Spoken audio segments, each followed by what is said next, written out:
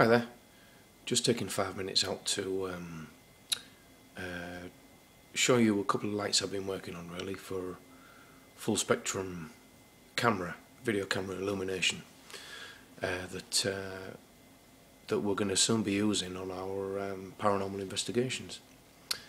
Uh, right, so if we go to the table, very, very messy table. Yeah, here it is. This is one I've just finished actually. It's uh, got a really handy sized little box in. This box is just big enough to fit a 9 volt battery inside um, along with this bank of switches on the top and it's really pretty cool. You've got your IR, infrared illumination there, UV and white light. It's meant to be a walking light, it's not meant to be a, a camera illumination lamp or anything. As I say, the emphasis on is on the IR and UV only. This is just so you don't trip up when you're getting from A to B, really. Um, yeah, I call it the Ghostlight Hull Area Paranormal Investigation. Put a little logo on the back there, looks a bit more professional, doesn't it? Uh, yeah, let's. I'll show you what working. Come over here where it's a little bit darker. Right, we'll start with the uh, infrared first. A little bank of 12 neat little infrareds at the top, which the camera's picking up quite well.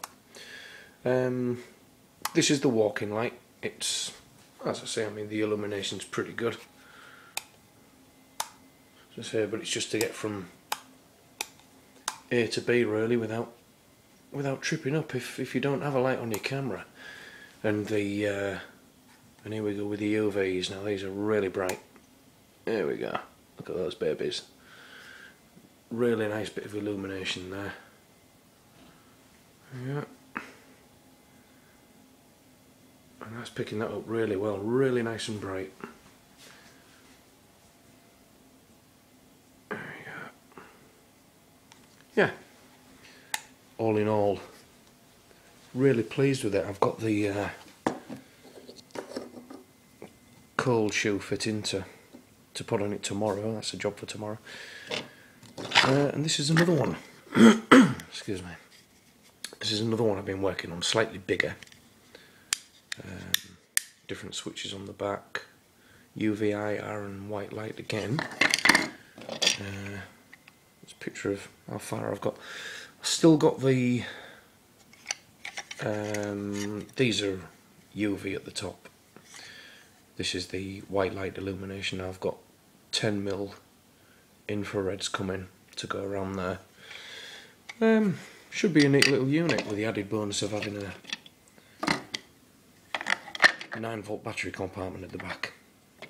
Whereas this one, it's a screw back, but you know, I'll live with that. Right, hope you've enjoyed it.